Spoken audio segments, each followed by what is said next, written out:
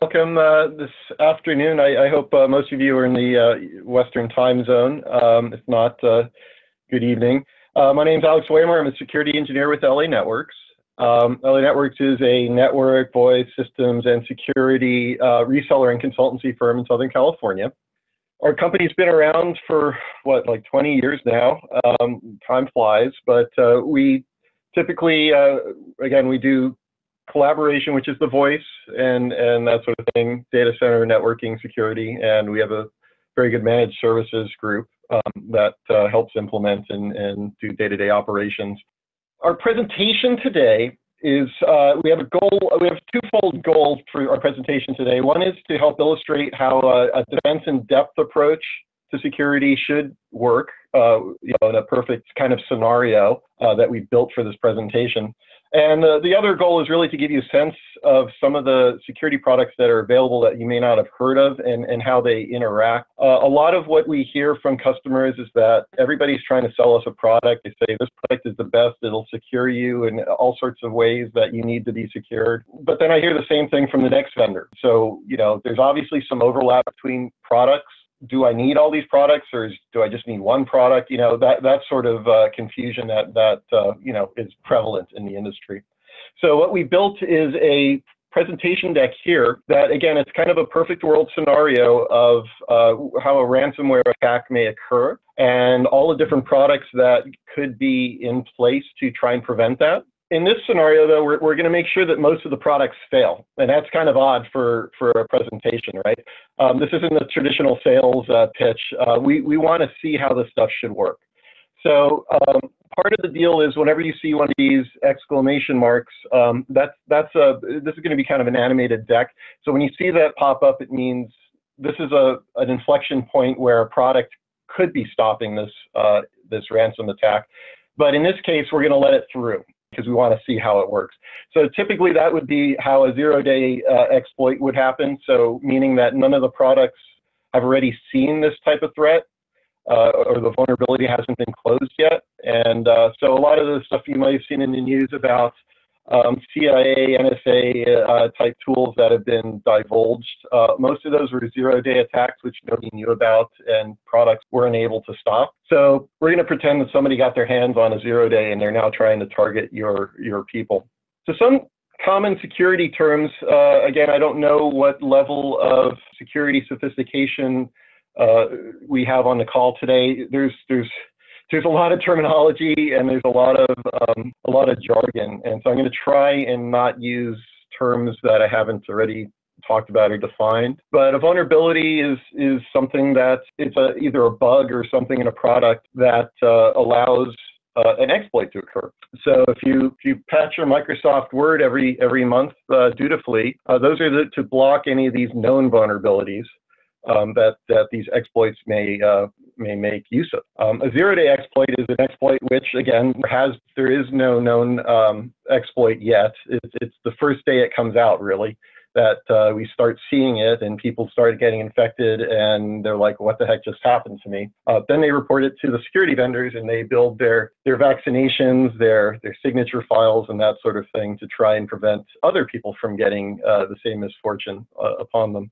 So malware is is what's going to be trying to use that uh, vulnerability, try to exploit that vulnerability. Malware is going to be, in this case, we're going to be talking about ransomware that's going to try and hold your files hostage, and, and they want to make some money. Um, so we're going to go through and, and take a look at how that gets in there.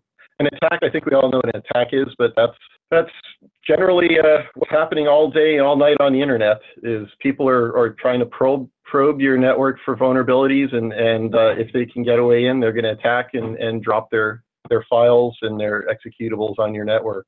So typically, what we've known uh, going back oh, plus 30 plus years uh, of internet is perimeter defense. Like a castle, you want to build a moat around your your your house and and try and keep people from getting in. That was all well and fine until we started really connecting every aspect of our life to the internet. So now basically you can't just rely on that perimeter because there's many ways that you can get on a network. A person could walk a file over to you on a USB stick. Uh, it could it could come in on an email that has a link to something. Um, you know, it could be buried in a PDF file that you had to download from from some you know some company or some agency that you didn't know how to uh, some sort of infection payload on it.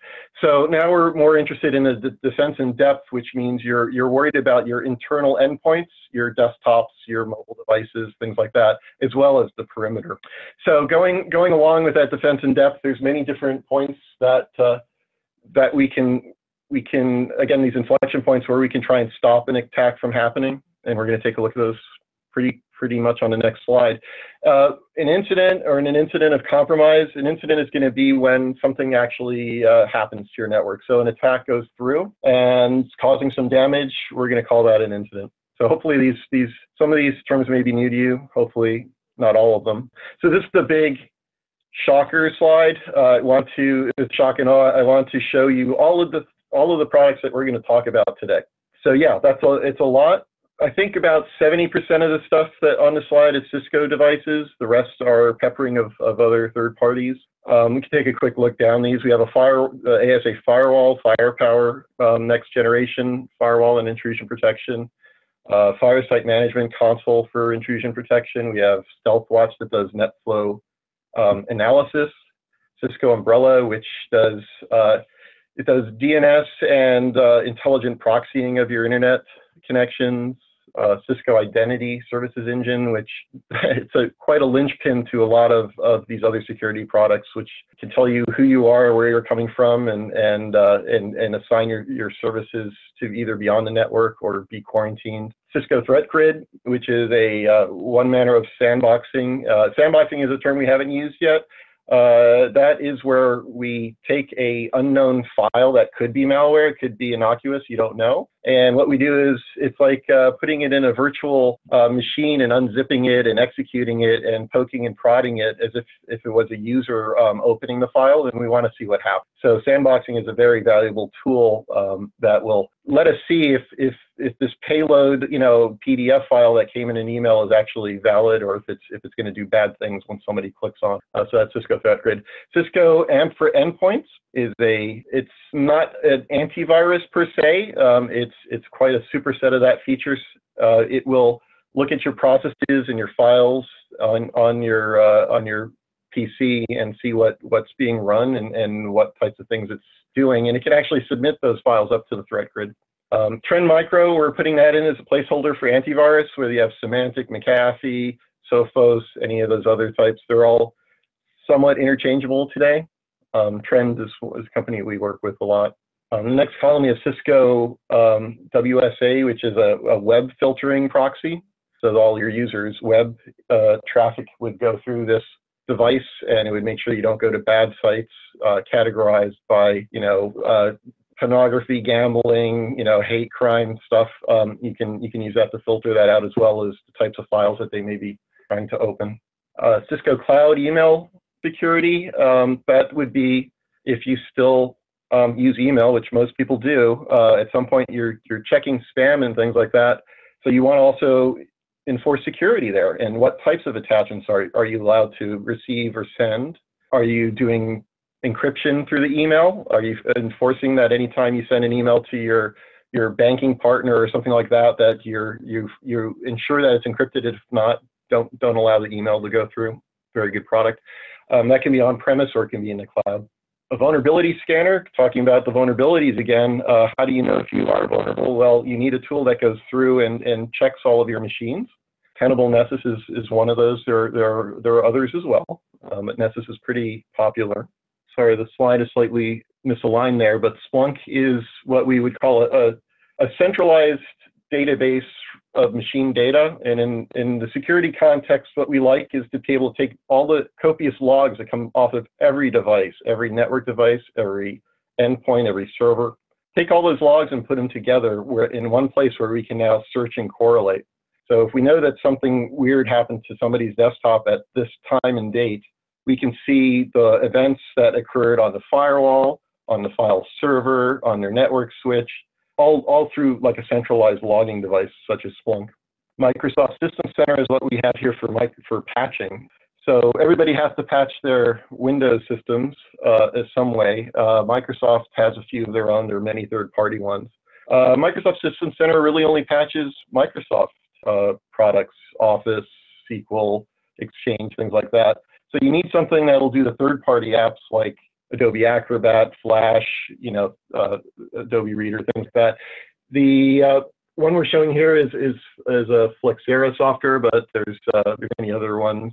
So we can take a look at those a little bit later. And of course, backup and recovery, which is going to play a big role, the whole ransomware um, scenario here. So hopefully, hopefully everybody has some backup already. If not, Veeam is a great product. Um, again, you might be using others, uh, Veritas and things like that.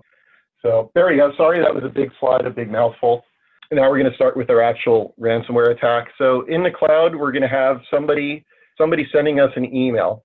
That email is going to come and hit our corporate mail gateway, which in this case is our Cisco cloud email security. Of course, maybe uh, maybe we have it on premise. So I'm showing you both. One one's up in the internet in the cloud, so to speak, and one we have installed locally. That's going to look at that email, but the email doesn't have anything bad in it per se. It's just a, it's just going to be a link to uh, to a MySpace page. In this case, it's a Russian heavy metal band uh, that that has a page on on MySpace. Not sure why people would want a MySpace heavy metal, you know, kind of email, but but that's what that's what's shown up in your user's inbox. And so far, there's nothing wrong with that. It's just a link to MySpace. So that email hits your mail server. In this case, we're showing an Exchange server that's on premise. Again, you could use Office 365 in the cloud. It, will it'll work the same way um, as far as the ransomware goes. So we'll have a local email uh, antivirus scanner. In this case, we're seeing Trend Micro. It takes a look at it. Again, there's there's no attachments. There's nothing malicious really in that email. So it delivers the email to the user. Well, what does your user do when they get an email with a with a cool link to a Russian heavy metal band? Well, they click on it that's just common nature. You're curious as to why, what, you know, what does this link do? So we're going to go ahead and let the user open that, and uh, they're going to click on that URL. So the first thing that happens when you try and open a web page is your your endpoint, your computer has to look up the name. So it's going to look up myspace.com uh, in the public DNS tables, and it's going to try and find out, you know, how to get there. An interesting product that we have from Cisco called Cisco Umbrella, it used to be called OpenDNS it's going to take a look and intercept those those DNS requests, and it's going to it's going to take first first pass at this and say, okay, is MySpace.com a valid place to go to? So obviously, if it ends in some weird um, characters you've never seen before for a country that you never do business with, then you know those are those are more likely to be uh, be sites you're not supposed to go to. And Umbrella definitely has a list of all of those types of things uh, that are known bad actors out on the internet. They constantly update it. And again, this is a, a cloud-based service, so it's always on, always there. Um, it, in this case, we're doing it from your desktop in your in your corporate uh, environment, but just the same if you if you had a mobile laptop user that was out at a Starbucks, um, they would hit this OpenDNS or Cisco Umbrella service, and it would use the same rules and policies you set up for your corporate users. If they don't go to you know um, Chinese hacker sites, it'll just block them. So in this case, the URL, again, it's for myspace.com. There's really nothing wrong with that. That's a valid place you're allowed to go to. So again, that was a chance to try and stop this attack, but, but there was nothing really to act on. So we're going to give that DNS uh, answer back to your client, and uh, now your client's going to actually, the web browser is actually going to start to download the uh, HTTP stuff. So good news is, is that we do have a we do have a, a web proxy in place. In this case, the Cisco web security appliance that's sitting right there on our on our local network, and it's going to intercept that connection and try and make sure that we're not downloading bad things. So one of the first things it's going to do is look at the URL, and again, the URL isn't on any bad list. MySpace.com uh, is fine. So unfortunately, again, there's a, there's an inflection point where we don't get to stop this attack.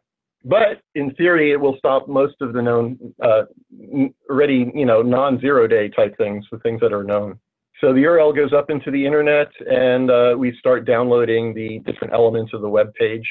Um, if you're familiar with uh, how H H HTML works, an HTTP protocol is, is there's many different things that get downloaded. There's pictures, there's flash files, scripts, and things that are all, all components of the web page.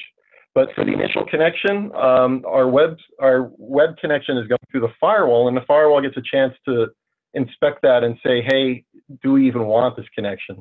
So most sites, most companies, you allow your your employees to go out to uh, to web browse. So port 80 is wide open. We can we can allow the users out. But basically using that mentality where we, we, we're trying to use the firewall to block people from getting into our network, but we're letting users get out and go wherever they want. So obviously now uh, in today's day, we try and what, do more of a whitelisting where we say what kind of places people can go to.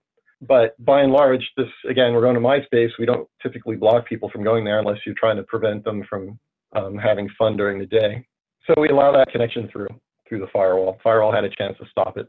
So here's where we start downloading the elements of the page, JPEGs, videos, flash files, whatever. Um, so now it comes back through the firewall again, um, and now we have our intrusion protection service that's running on that on that Cisco ASA firewall called Firepower, and it gets a chance to now look at the individual elements that are being downloaded, and there's rules and policies that say what you are allowed to get. So it's going to get a chance to check check those against our, our policy, and there, there aren't any files or, or any attachments that we're not allowed to download that's in this web page, so it lets it through. But it does turn out that there uh, there is a Flash file that's connected to this web page. A lot of a lot of websites still use Flash. It's probably the worst uh, the worst thing we can still have on the internet, but it's it's turned on in, on many browsers and it's still allowed through on many IPS uh, systems. So in this case, here is our uh, here is our vulnerability where we the malware writer is using a zero-day unknown exploit using Flash. So that just got through all of our defenses It could happen. So the user's web browser is now uh, executing that Flash. It comes down to their uh, to their desktop.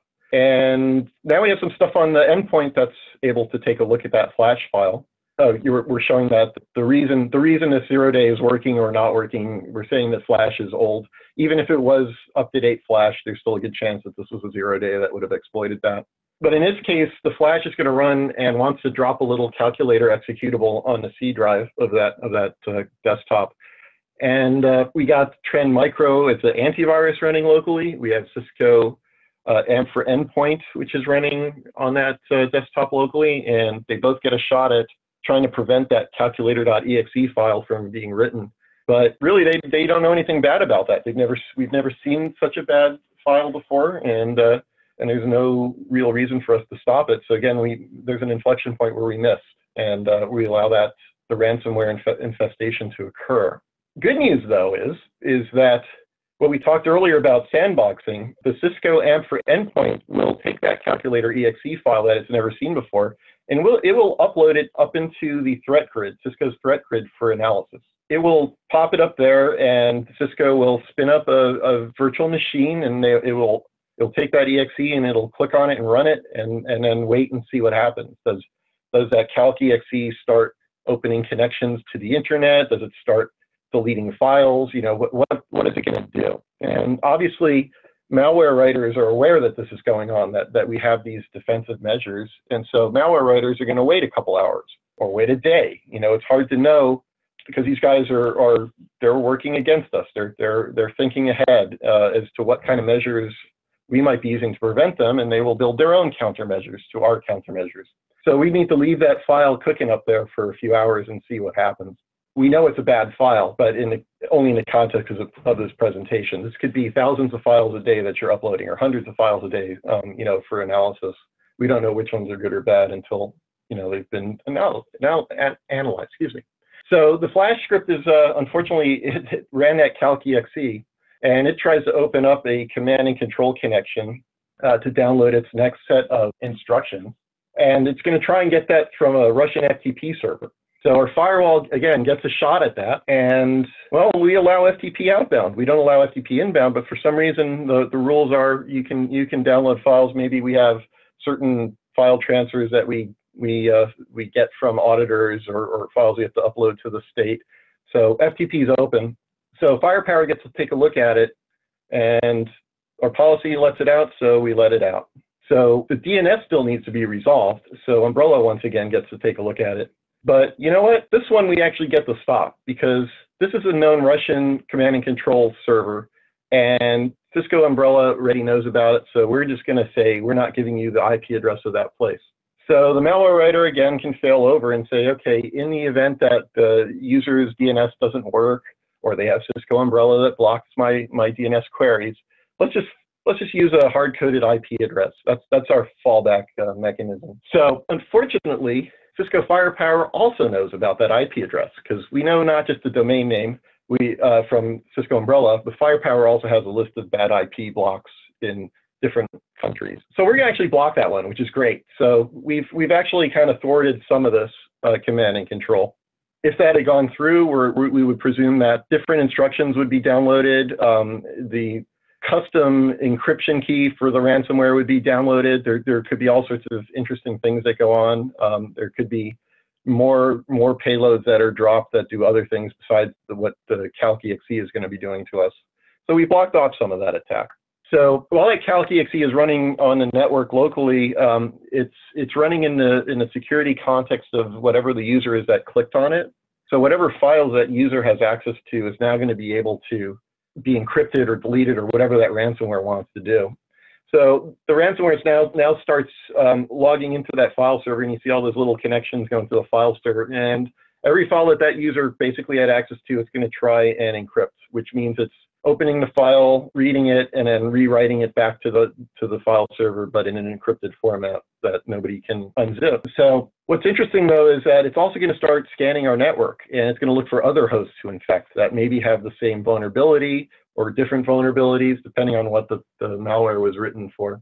So it's going to want to scan all the other PCs.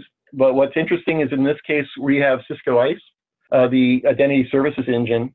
And part of this implementation is what we would call a micro-segmentation, where this company decided to that different PCs don't need to talk to each other. And when you think about it, really, why does your desktop computer need to talk to the person next to you? They don't. They talk to the file server, they talk to the email server, they talk to web servers, but rarely do they ever need to interact from computer to computer. Sometimes you'll have like instant messaging apps and things like that that will do it.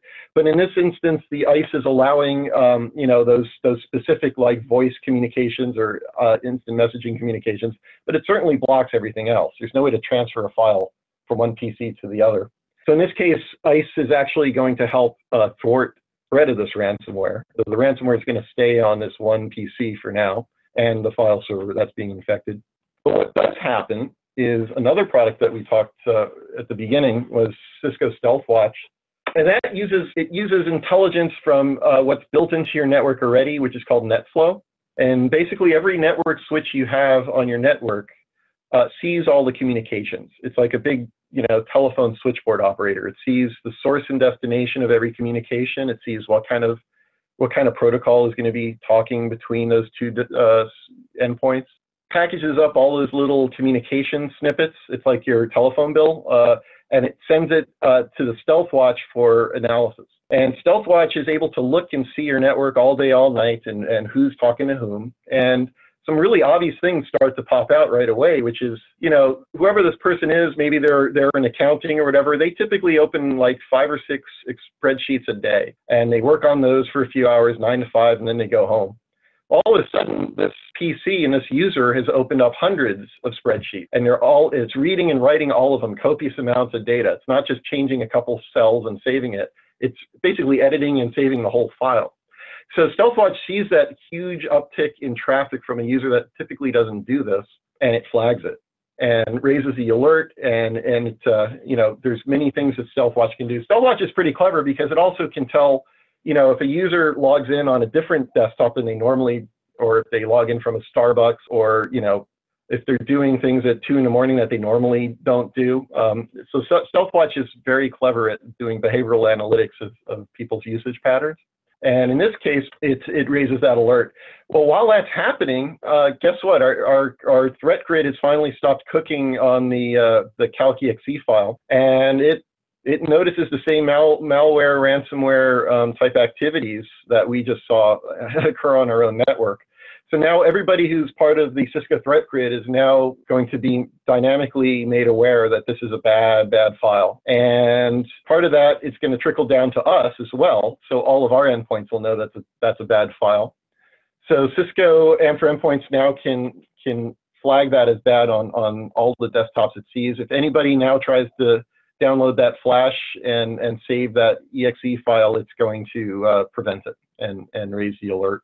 The cool thing is that Cisco FireSight, that's, that's, that's the console that will manage all of our different firepower uh, modules that are on the uh, firewalls. And it also ma manages um, and, uh, the alerting from the Cisco AMP for endpoints. It's going to see all of these things that occur, uh, all these files that transfer, all these flash files, JPEG files, email files. Um, it has a history of that. So not only do we now know that that calc.exe file was bad, but it can now go back in time and say, hey, who else has seen this calc.exe in the past? Back when it was a zero day and we didn't know that this was bad and we let it happen, now we can replay the logs and see where that has occurred on our network. So if there are other PCs that have gotten that, if there's uh, you know other file servers that have seen the file, um, we can now build a timeline, and it's very cute. It shows like who patient zero is and how the file has moved from one host to another, um, especially if you didn't have this microsegmentation. And we can go back and now quarantine and, and remediate those PCs as well and those servers.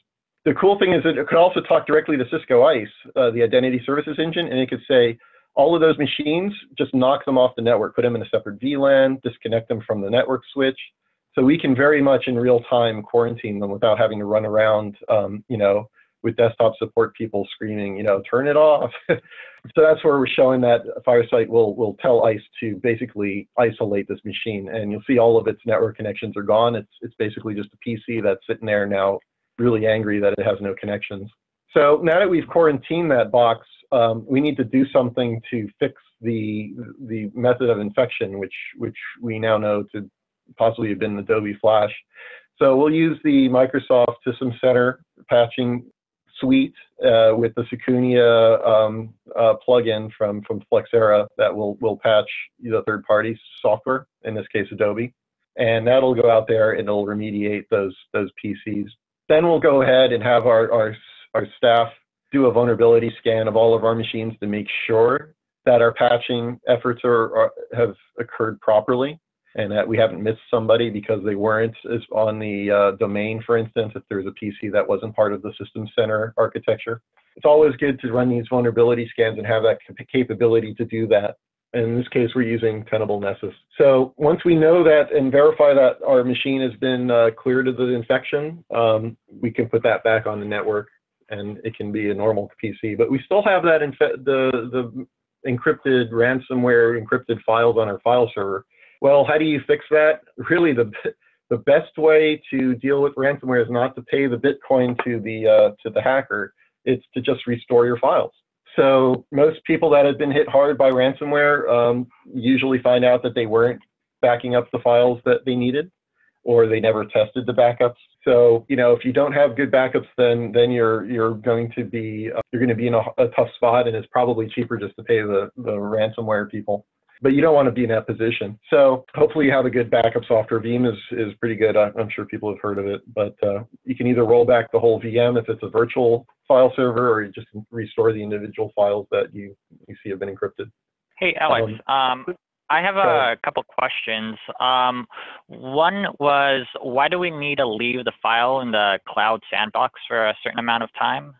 Yeah, I think uh, I think I touched on that. Is that uh, the malware writers know that we're going to be doing sandboxing of their malware. So they put in delays. First, they try and find out if they're in a sandbox, and they're getting cleverer and cleverer at, at determining that they're being probed. Uh, but then they're going to delay the, uh, the the launch of their malware and try and make it, uh, you know, innocuous. That you know, why would you infect yourself right away after you've clicked on a link? Wait two hours. Wait a day. Wait till it's two in the morning. Then run your then run your payload. So in the sandbox, we're going to need to let it cook for some time to, to really see if something happens. I mean, if it says it doesn't launch for 24 days, that's really hard to know because we're not going to leave it in the sandbox for 24 days, typically. So there, you know, again, it's this cat and mouse game between the malware writers and and the uh, the security vendors to try and figure out what's the most effective way to verify a, a file is good or bad and what its intentions are. So that's the main reason for that. Do we have another okay. question too? Yep. Um, do I need to purchase a NetFlow collector device for StealthWatch to actually work? So no, uh, StealthWatch is its own NetFlow collector, and uh, it also has uh, additional sensors that you can deploy on your network if uh, if you need need to scale it in, in different ways. But primarily, uh, StealthWatch will do all that for you. Hopefully that answers that. And okay, so going back to where we are with this is, okay, so now we've basically cleaned up our, our ransomware mess. We've rescanned our network for vulnerabilities. We didn't find any. We remediated the, the boxes that had infections. We've restored the files that were, um, you know, encrypted. Um, now we need to really figure out you know, a, a report of, of ha what happened, what we could have done better. You know, our board of directors wants to know what the heck happened. So you definitely can go into your Splunk uh, repository or your security events uh, manager and build out the entire timeline of what happened to whom and when and, uh, you know, of course, Splunk can be used for many other things like hunting for, for things on your network, for looking at ways to correlate different behaviors that maybe uh, aren't as obvious. But uh, in this case, we're using it to build our report. Um, and that's really the end of it. So if there are any other questions about that, we can, we can uh, probably entertain them now. Sorry, it's all audio is one way, so we have to get get you to type something in the chat window. But by and large, that's that would be the life cycle of us um, getting an infection and getting rid of it. So maybe if uh, people want to type some things in, I'll go on and talk about what we can do as, as LA Networks as a company, how we can help you besides just um, entertaining you with these slides. A couple of things that we have available is if we go back to what we were talking about, the Cisco ASA firewalls and the firepower uh, intrusion protection, we got a really good deal um, where if you uh, let us plug a, plug a device into your network behind your firewall, we can let it sit there for a week or two sniffing um, to see what it finds, what your firewall maybe is missing. And uh, we have a good report um, that shows what's going on on your network, um, something that looks like this. There's a series of reports that we can uh, build for you at the end of that um, proof of value, proof of concept. A lot of it is going to show things that you don't know that's on your network. Um, part of the problem with this, as, as you probably have heard is that infections and things uh, seem to persist on a network for hundreds of days before they are found. So this this definitely is for pretty much every engagement where we've gone in and dropped one of these in, we've gotten a valuable report to the customer um, to see things that they didn't know what was going on. Uh, people going to places they shouldn't, doing, you know, you thought you blocked BitTorrent, but we still see it, you know, and how did that get in there? Things like that so it's, it's actually pretty cool and it's free and it's uh, and it doesn't impact your network. We don't change anything. We just plug it in, uh, let it watch the stuff for a few weeks, and then at the end of that, all the data is is erased and, and none of it's uh, disseminated to anyone else. The other one that we can do is uh, is do the Cisco Umbrella thing. That's where it uh, checks your DNS. Um, the cool thing about the Umbrella product is that it's it's looking at where people are going before any other security product has to start examining files or examining connections. It's looking at the DNS request. And if you're going to, you know, russianhacker.ru, uh, it can stop it right then and there. We don't have to let the web page load and let the files hit the firewall and the IPS and let your endpoint protection try and filter out the viruses and malware. Umbrella takes place right at the very beginning and it saves the, the, the work for all the other products. And it's also, like I said earlier, it's, it's mobile. So your laptop users, your remote users, your home users, if they all talk to the same DNS servers, they all get the same, they're afforded the same protection. So it's very slick and it requires no effort on your part uh, other than changing your DNS uh, that, your, that your servers or users go to.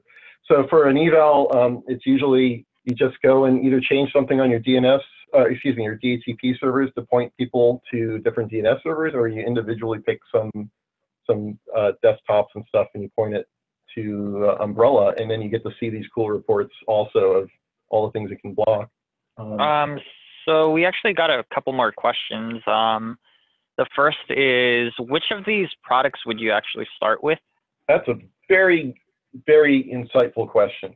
Uh, the insightful answer is Depends where you are. So one of the other things that I didn't list on, on here is that what we can do is we do, um, we can do um, kind of a security assessment. Uh, we, we partner with another firm that will do a very in-depth assessment if you don't really know where you are, um, both policy and, and, and product-wise. And, and uh, you know, always you want to start with having a security plan. You need to, you need to have somebody um, either on staff or if you outsource to a company like us to kind of be there for you. It's this is really complicated. Uh, security to do it well is really really hard. Again, the the uh, they only need to get lucky once. The bad bad guy only needs to get lucky once. We have to be lucky 100% of the time, um, which is you know near impossible. So to know where you want to start is really um, depends on where you are. Everybody's at a different point in their security uh, posture. So hopefully everybody already has a firewall, but maybe your rules aren't that you know good. So maybe you need somebody to to audit those and just you know check to see that you're doing what would now be um, best practices. And best practices today is very different than what it was five years ago. Um, you know, it's it's an evolving thing. So if you set something up five years ago and it was really you know vetted by somebody, you know, hopefully you have auditors or or security consultants like us who can come in and and uh, you know check that for you. Um, but with that said, I would I would definitely say endpoint protection is a great thing. Um, uh, and for endpoints is a big thing. Again, for that security in depth, you need to have something that's inside your network. StealthWatch is incredible because it gives you insight into everything that's going on in, internal to your network. Typically, you only know what's going on on your edge or what's going on on your desktop. Uh, StealthWatch will show all of the interactions uh, that are going on internally. Who's StealthWatch will typically know when an employee is about to leave the company a few days before because it'll see the uptick in files being copied off of certain, you know, select servers and things like that. It's it's really it's really very very valuable, and that that's something if you already have a lot of these other products in place, um, that is one I would look at. Uh, so between Umbrella and StealthWatch, definitely. If you don't already have intrusion protection, you just have a firewall, but nothing really um, looking at those connections uh, with with a hair trigger to see, you know, what what what is occurring here, maybe good or bad, uh, then an, an, intrusion protection uh, device or, or, set of devices would be very valuable as well. Um, but really, assessment would be the best part to start. That's kind of a long-winded answer. We do have some more questions. Um, is there an offensive approach to find, uh, locate these perps? Uh, and if you did find them, who would you report them to? Definitely. Um, so going on the offensive, going on what they call the hunt, um, that's pretty advanced. Uh, hopefully, hopefully you don't even bother um, trying to go on the offensive until you have like or these like what do we have 17 different products on the screen right now. If if you have that all all in hand and you and you have time and resources to go on the hunt, um, there's a whole level of of training and stuff that you would want to do there. So that's that's not a typical corporate IT security um, um, job. Um, it's kind of a specialized field. But what, what was the second half of the question? Um, just who would you report it to if you uh, if you, you were report, able yeah. to find anything? Yeah. Wonderful, wonderful. So we actually uh, we do some security roundtables uh, where we invite law enforcement and such to um, to be there and, and get their their name out. You really want to have the ability to meet your local law enforcement uh, agencies before you have an event or an issue or an incident? Because when something bad happens and you know you find out you're being hacked that money is being stolen that you're you're you know you're um, you're going to have to disclose something and, and and lose a lot of face to, to the public, um, it, that's the wrong time to start reaching out to law enforcement and find out who to contact. So it's a very good question. Uh, typically, you can call up your um, there's cyber uh, there's cyber departments, cybersecurity departments at the FBI, for instance, which are very uh, important um, for you to, to learn their their phone number, and they won't necessarily do much uh, to prevent you getting hacked or or to remediate you being hacked, but they will be your liaison to the process of um, you know, collecting some of that uh, information and, and lining you up with the correct forensics uh, people to, uh, you know, if, if there ends up being some criminal type of, a, uh, of uh, proceedings thereon, you know, you, you're going to want to have them very early in the loop so that you collect all that. Does LA Networks provide end user security training? We provide training insofar as using security products and stuff. Uh, we do partner with another firm that uh, does a wonderful job of, of setting up uh, user training, end user training. Yeah, end, end user training. Actually, yeah, that that goes back to the first question about what what should you do first. Um, end user training is the most important. It's the easiest or the least expensive uh, method to increasing your security posture for sure.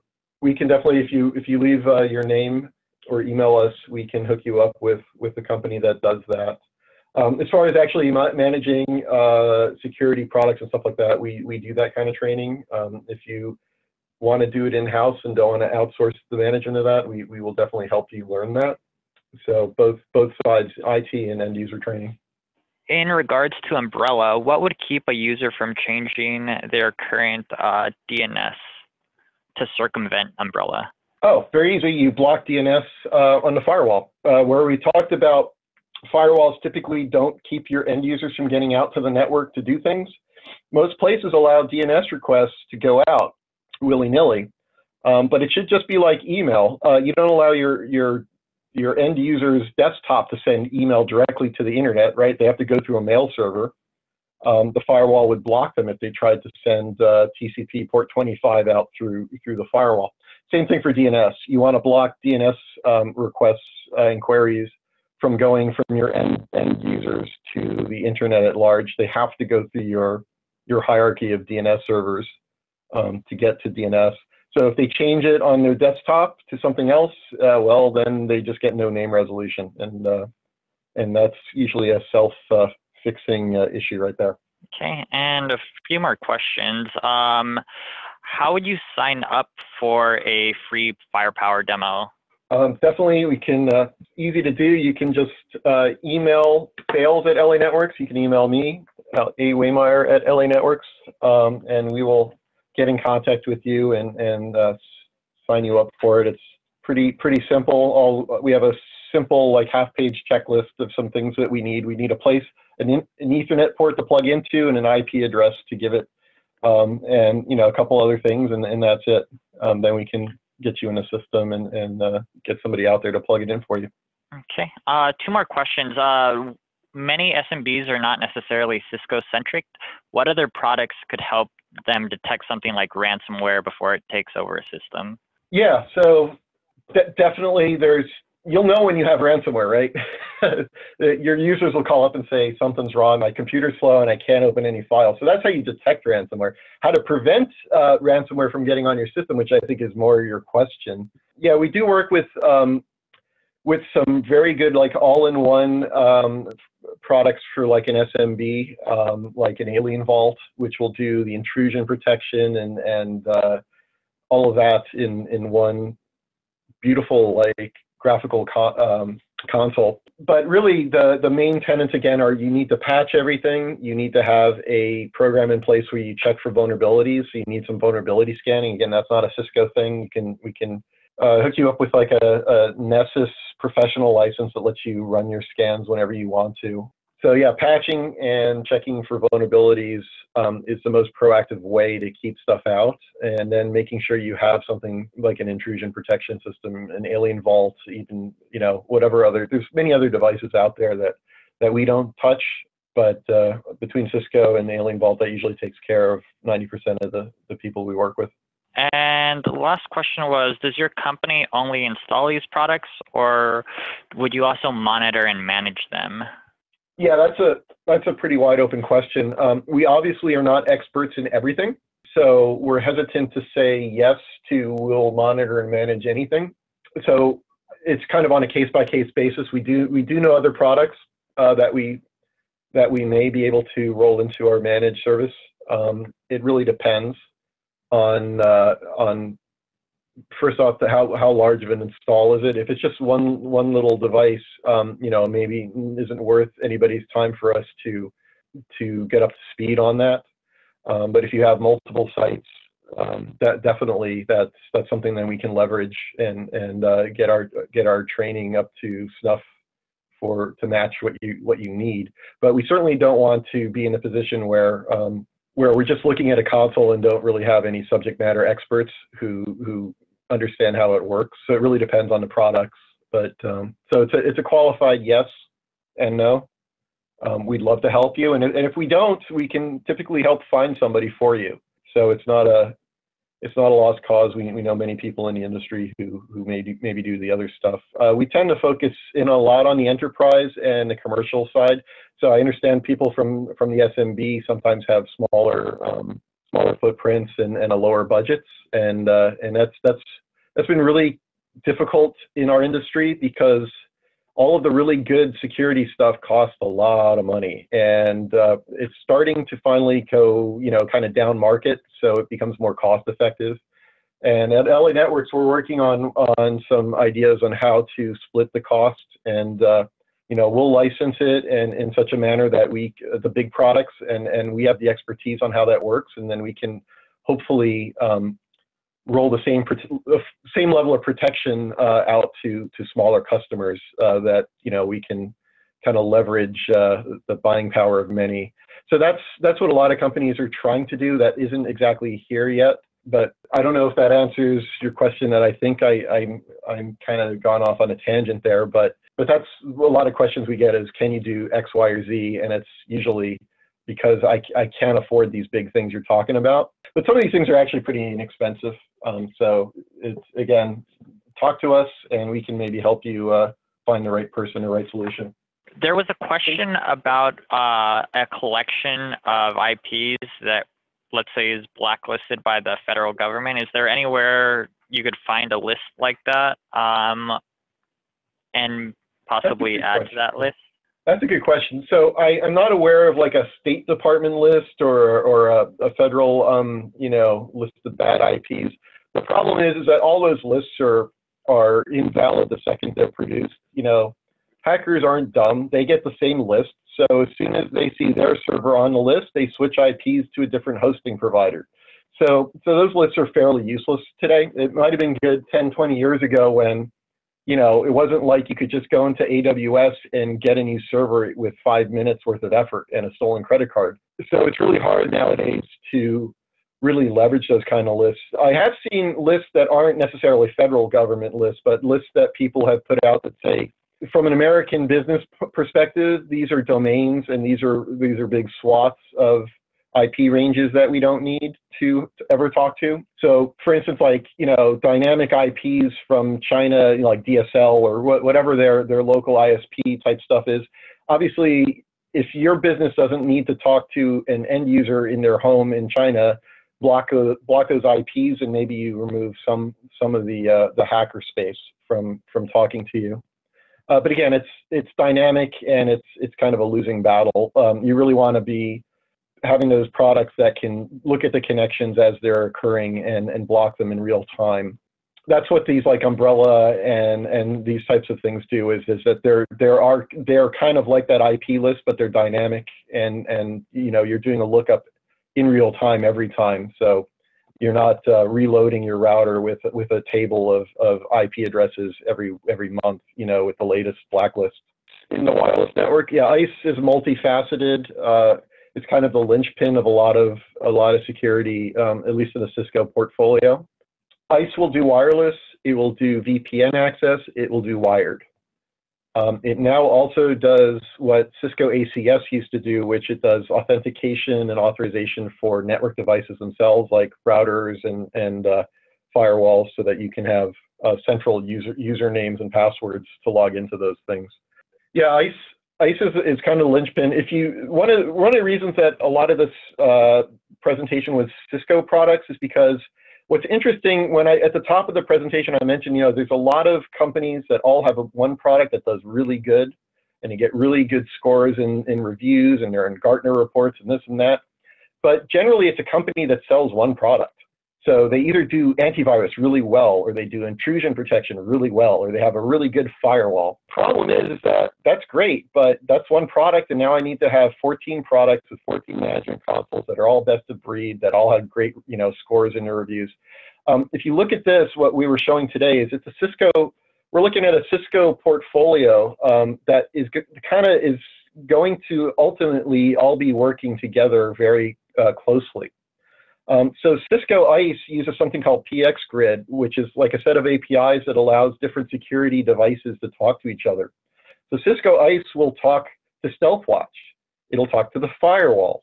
It'll talk to the wireless controllers. It's, it's really, it has a lot of uh, interaction with non-Cisco devices that are part of the PX Grid kind of, not a consortium, but it's, it's people who have written to that specification.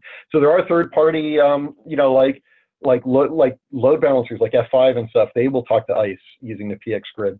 So it's actually kind of neat. It's not just wireless. It works with with many other products, and uh, and that's again the Cisco portfolios. They're all starting to work with each other. So like the AMP for endpoints works with the FireSight console. You know, they're they're all they're all interacting with each other, and not there really doesn't seem to be many other vendors that are going to have such a breadth of the portfolio to pull this off. So that's what's really interesting, and why I wanted to kind of focus on the Cisco side of it because it's uh, starting to show a um, kind of a story of where they're going with this, and a lot of these things are going to start to. There's uh, this one point on my on the left left part of my slide where there's kind of two lines that kind of meet at a weird angle.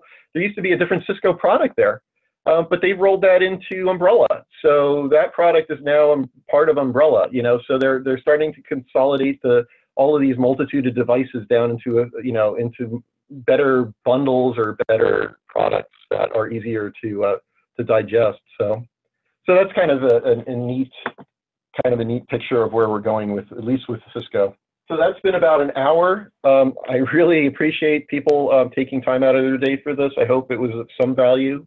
By all means, send us an email uh, if you have comments uh, or about questions about other other topics for webinars in the future. We're, we're going to be doing more of these. So we're always looking forward to uh, to what kind of pain points you guys have and, and, and would like us to address. Um, and by all means, if you would like us to do a, uh, uh, one of these free uh, proof of concepts for the, the threat the, the threat analysis or for the umbrella, um, drop us a line. They're they're pretty simple, and, and I think you get some good benefit out of it. Once again, thanks a lot.